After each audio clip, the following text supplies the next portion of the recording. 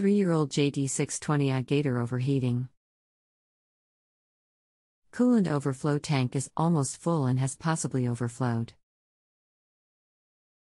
I have not added coolant since new.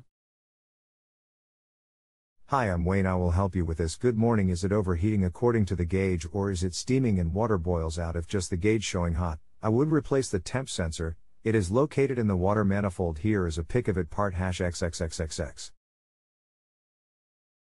Hot temp light is coming on and engine is going into save itself mode by reducing RPM. Hi, thank you for that. I would start with the temp sensor. You can also insert a thermometer in radiator to see if you are actually hot, and if yes, then would be thermostat Wayne.